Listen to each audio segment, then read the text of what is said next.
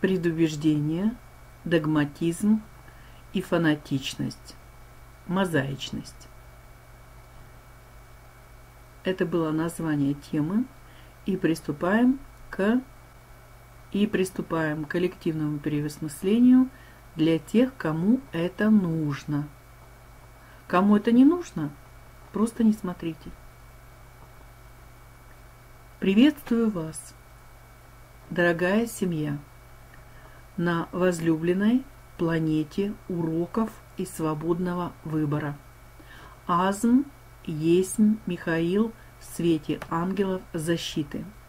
Мы есть Наша тема беседы на момент сейчас посвящена очередным качествам эго вне контроля, а также теме единения. Начать разговор мы хотели бы с того, почему мы достаточно много посланий посвящаем эго. Не лучше ли эту тему игнорировать, не напитывая ее вообще больше энергией? Дорогие наши души, когда эго находится вне контроля, у вас есть великие помощники. Это осознанность и любовь. Это позволяет держать эмоции под контролем вашего света, осознанно проживая те или иные моменты игр ума. Вы тем самым повышаете ваши вибрации и расширяете сознание. Итак, Очередные три качества эго вне контроля – это предубеждение, догматизм и фанатизм. Это разные понятия, но природа их появления и проявления едина. Страх перед новым. Страх перед расширением сознания. Страх смерти, устоявшихся паттернов ума, навешанных ярлыков и так далее. Предубеждение – это свойство эго вне контроля, при котором один человек или группа людей создают, создают образ другого человека, людей, согласно своим либо навязанным убеждениям, не меняя их до момента первой осознанности.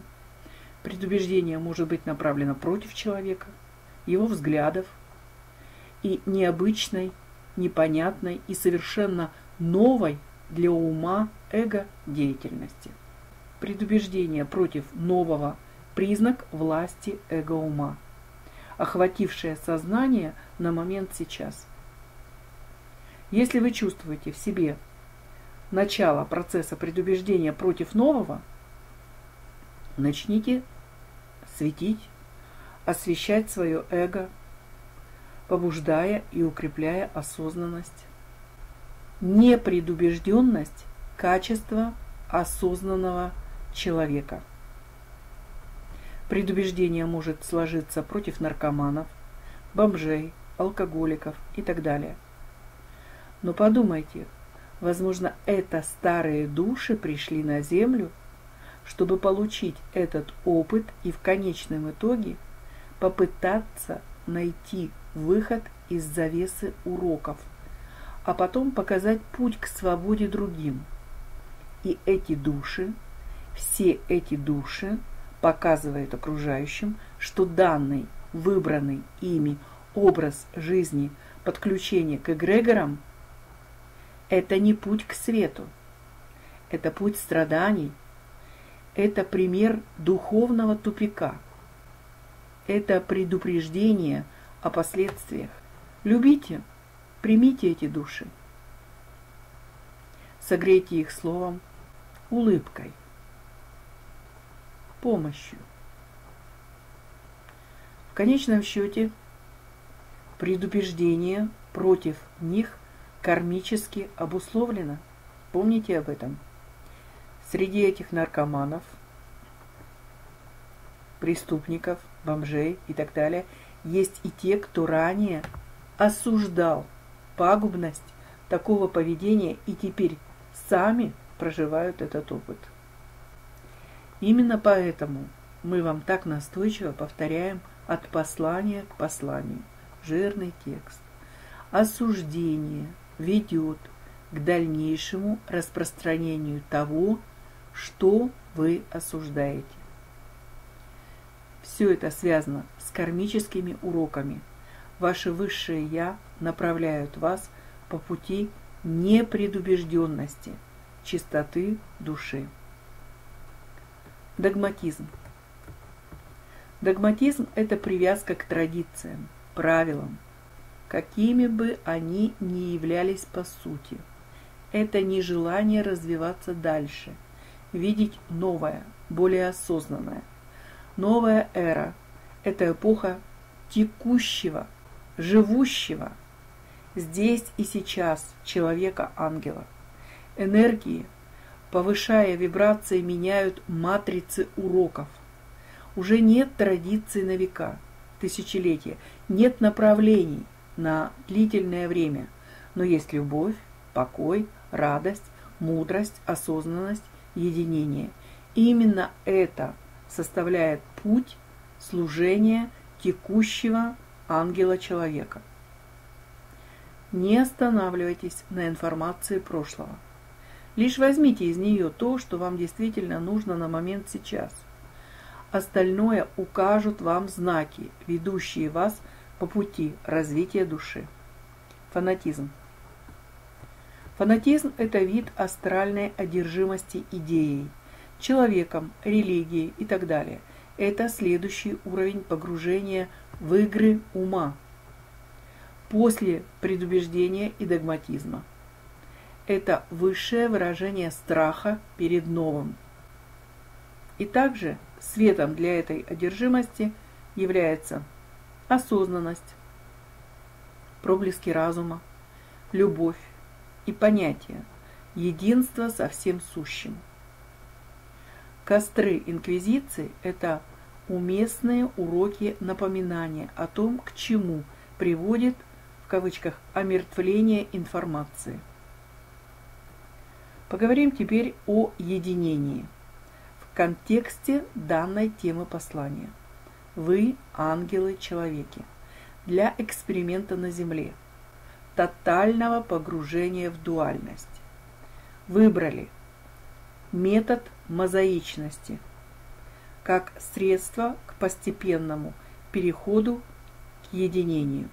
Дорогие ангелы, что для вас новый квантовый переход? Что вы под этим понимаете на момент сейчас?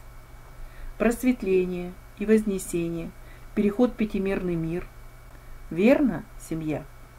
Но этого невозможно будет достичь без единения со всем сущим.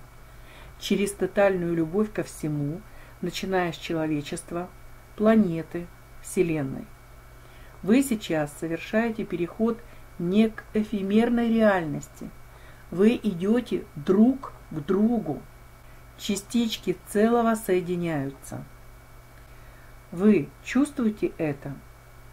Поэтому сейчас настало время подумать об очищении сознания. Это время пришло. Эго вне контроля воспринимает мозаичность как угрозу. Осознанность же объединяет людей благодаря этому методу света. Еще раз. Эго вне контроля воспринимает мозаичность как угрозу. Осознанность же объединяет людей благодаря этому методу света. Так что же такое мозаичность в данном аспекте нашей беседы? Все очень просто. И это вы разработали сами, дорогая семья света. Вы все разные, различные цели воплощения – различные предназначения, различные дары, но вы все являете одно. Эго пытается свести вас к соперничеству и сравнению. Но поймите, как вы можете сравнить картину одного художника с картиной другого? Это два шедевра. Это два разных предназначения. Представьте, что бы было, если бы все художники Земли рисовали одно и то же. Это невозможно, не правда ли? Поэтому сравнить одно предназначение с другим может только эго, вне контроля. Ощутить единство всех предназначений и их уникальность может только осознанность. Поэтому художники рисуют разные картины, поэты пишут уникальные стихи, челленеры получают эксклюзивную информацию и так далее. Каждый видит свой кусочек мозаики. Но он, этот кусочек, из общей картины. И как же можно оспаривать существование определенного кусочка мозаики? Без него не получится целостной картины. Как только человек выходит из кармического круга осуждения, предубеждения, догматизма, фанатизма, зависти, соперничества, мстительности, он, она понимает, что все, абсолютно все уникальны, но едины. В любви и свете Михаил мы есть.